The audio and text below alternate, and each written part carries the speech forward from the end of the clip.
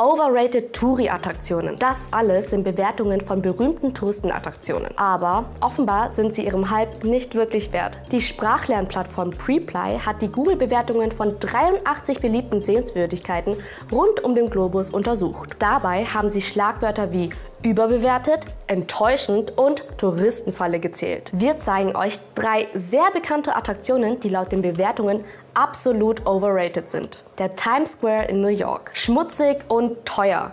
Das sagen viele Besucher über den Times Square in New York. Fast jeder zehnte Besucher ist unzufrieden mit der Sehenswürdigkeit. Damit ist der Times Square auch auf Platz 1 der weltweit am überbewertesten und enttäuschendsten Touri-Attraktionen. Die kleine Meerjungfrau in Kopenhagen.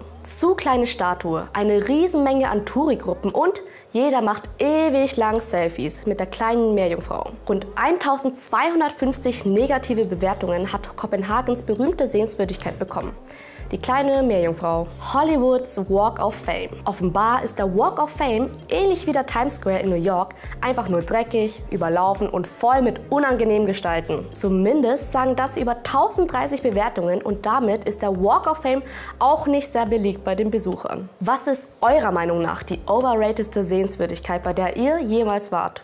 Schreibt es uns in die Kommentare.